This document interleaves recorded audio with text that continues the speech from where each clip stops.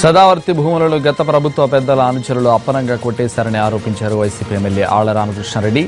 ఎంతో విలువైన భూమిని చంద్రబాబు అనుచరులు అతి రేటుకు స్వాధీనం చేసుకున్నారని వెల్లడించారు. అయితే ఆ భూములకు సంబంధించిన కేసు ప్రస్తుతం సుప్రీంకోర్టులో నడుస్తోందని వివరించారు ఆళ్ళ.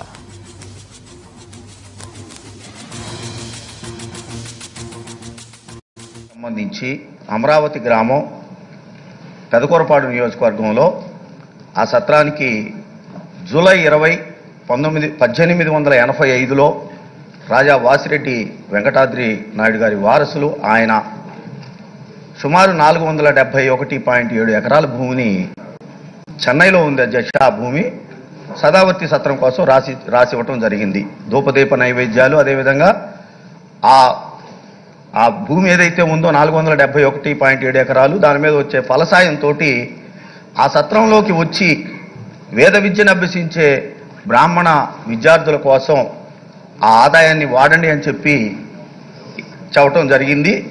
దానికి అనుకూలంగా ఆ భూమిని ఇవ్వటం జరిగింది అధ్యక్ష. అయితే ఆ రోజు నుంచి పద్దెనిమిది వందల ఎనభై ఐదు నుంచి కూడా ఆ భూమి మీద ఆదాయాలని పొందుతానే ఉంది ఆ- ఆ సదావర్తి సత్రం అధ్యక్ష. ఎప్పుడైతే చంద్రబాబు నాయుడు గారి ప్రభుత్వం మొన్న రెండు వేల పద్నాలుగులో ఏర్పడిందో చంద్రబాబు నాయుడు గారు ప్రభుత్వ అధికారుల మీద ఒత్తిడి తీసుకొచ్చారో దానికి సంబంధించి రెండు వేల పద్నాలుగులో అక్కడ శాసనసభ్యుడిగా పనిచేసినటువంటి కొమ్మాలపాటి శ్రీధర్ గారు పద్దెనిమిది ఎనిమిది రెండు వేల పద్నాలుగు నాడు ఒక లేఖ రాయటం జరిగింది అధ్యక్ష. ఎందుకంటే నాలుగు వందల డెబ్బై ఒక ఎకరాలు పద్దెనిమిది వందల ఎనభై ఐదు నుంచి నేటి వరకు కేవలం ఎనభై మూడు పాయింట్ ఒకటి ఒకటి ఎకరం మాత్రమే మిగిలింది. ఆ దానికి మిగతా భూమి అంతా కూడా అన్యాక్రాంతం అయిపోయింది. ఈ ఎనభై మూడు పాయింట్ ఒకటి ఒకటి ఎకరం భూమిని అమ్మేసేయండి అని చెప్పేసి పద్దెనిమిది ఎనిమిది రెండు వేల పద్నాలుగు నాడు ఎమ్మెల్యే గారు లేఖ రాస్తే ఎంత విచిత్రం అంటే అధ్యక్ష ఒక నెలే ఇరవై తొమ్మిది ఇరవై ఎనిమిది తొమ్మిది పద్ రెండు వేల పద్నాలుగు నాడు. అంటే సుమారు నెల రోజుల్లో ప్రిన్సిపల్ సెక్రటరీ రెవెన్యూ గారు అమ్మేసుకోండి మీరు ఆ భూమిని అని చెప్పి లేఖ రా లేఖ కూడా ఇవ్వటం జరిగింది అధ్యక్ష.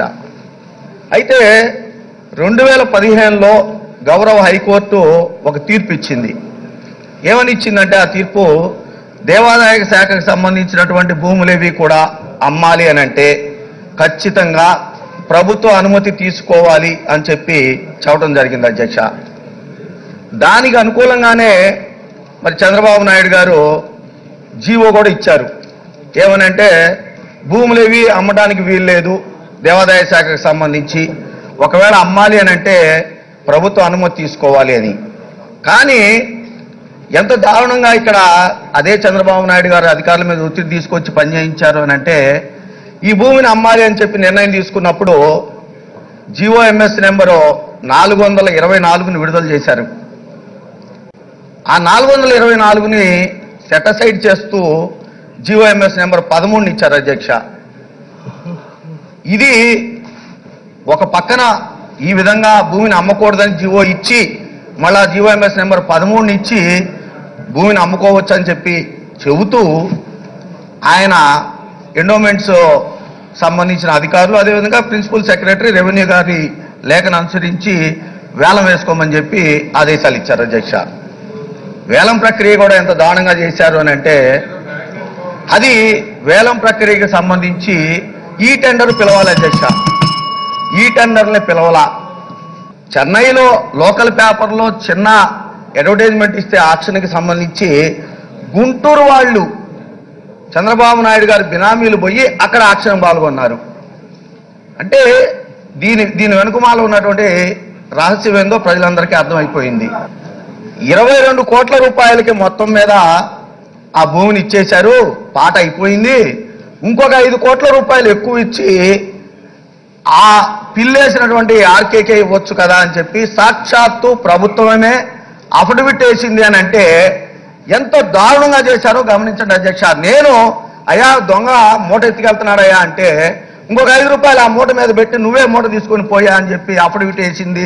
చంద్రబాబు నాయుడు గారి ఆదేశాల మేరకు అని అంటే ఇంకా అంతకన్నా అన్యాయం ఏంది అని చెప్పి కోరుకుంటా ఉన్నాం అధ్యక్ష.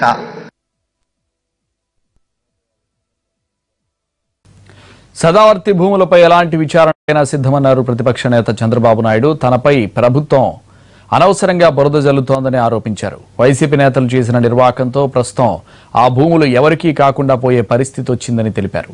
కేసు సుప్రీంకోర్టు పరిధిలోకి వెళ్ళేందుకు వైసీపీ నేతలే కారణమన్నారు చంద్రబాబు.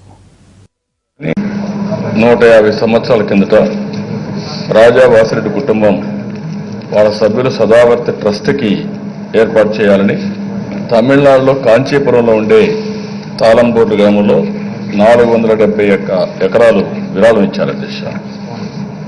దీని మీద ఎలాంటి ఆదా ఆదాయం రాకపోయే కొందికి ఈ భూములు విక్రయించాలని నైన్టీన్ ఫిఫ్టీ ఎయిట్ నుంచి ప్రయత్నం చేశారు దేశం.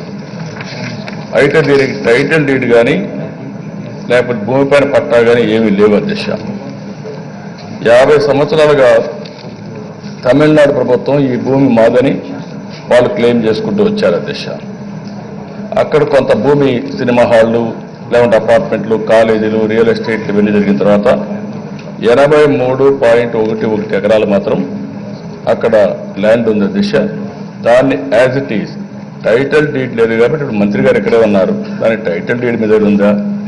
ఆ రోజు మేమున్నాం ఈ రోజు మీరున్నారు. టైటిల్ డీడ్ కానీ పట్టా కానీ మనకు ఉందా ఉంటే మీరు చెప్పచ్చు ఆ విషయం కూడా. అదే మరి దిశ ఇది కానీ టైటిల్ డీడ్ ఉంటే విలువైన ల్యాండ్. రోజు రోజుకి ఎన్క్రోచ్మెంట్ చేస్తున్నారు కాబట్టి దీన్ని మనం ఆక్షన్ ద్వారా చేయాలని చెప్పి అంత ప్రయత్నం చేశారు. రెండు వేల పదమూడు ప్రయత్నం చేశారు తర్వాత ప్రయత్నం చేశారు అధ్యక్ష అయితే మీరు చెప్పింది భూమి విలువ ఐదు వేల కోట్ల రూపాయలు మీరు ఆరోపణ చేసింది. అదే మాదిరిగా కడాన మీరు పాడింది నలభై మూడు కోట్ల రూపాయలు.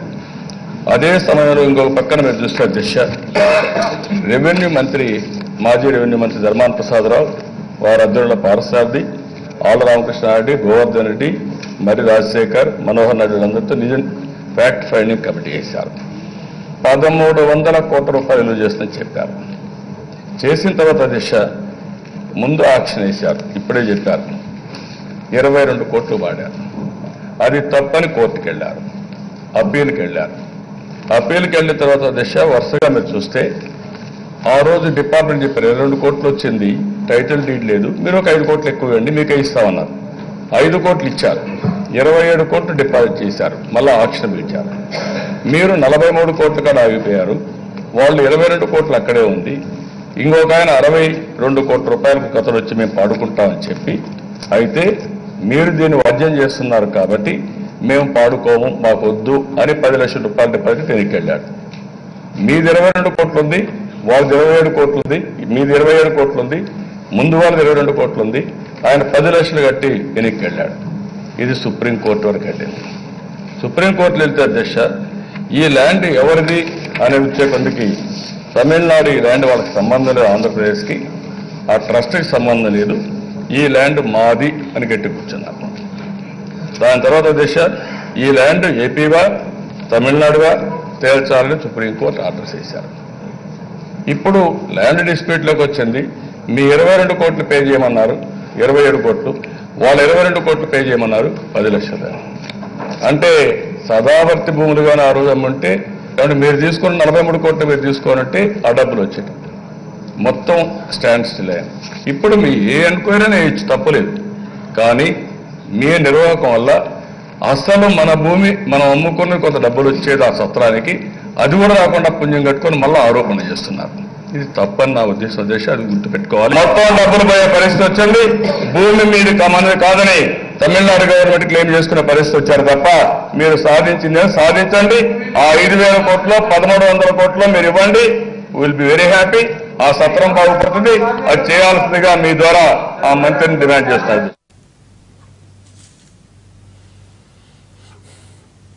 సదావర్తి భూములపై విజిలెన్స్ విచారణకు ప్రభుత్వం సిద్ధంగా ఉందని స్పష్టం చేశారు మంత్రి వెల్లంపల్లి శ్రీనివాసరావు. అసెంబ్లీ ప్రశ్నోత్తరాల సమయంలో సభ్యులకు సమాధానం ఇచ్చిన ఆయన గత ప్రభుత్వం హయాంలో సదావర్తి భూముల్లో చోటు చేసుకున్న అక్రమాలను బయటపెడతామని సభకు తెలిపారు. ఇప్పుడు వారి దగ్గర ఉన్న ఏదైతే పేపర్స్ ఉన్నాయో అవన్నీ కూడా మాకు కానీ మన సభ దృష్టి తీసుకొస్తే ఈ యొక్క దీని మీద సుదీర్ఘ విచారణ జరిపించాలని. ఏదైతే ఇంతకుముందు ప్రభుత్వ ఒత్తిడితో ఈ యొక్క చే- ఈ కార్యక్రమం జరిగినాయో దాన్ని తప్పకుండా మనం తప్పు తప్పుగా తీసుకోవాలి ఎందుకంటే అధ్యక్ష ఇంతకుముందు ప్రభుత్వానికి దేవుడి భూములు కానీ దేని మీద కూడా వాళ్ళకి లెక్క ఉండేది కాదు.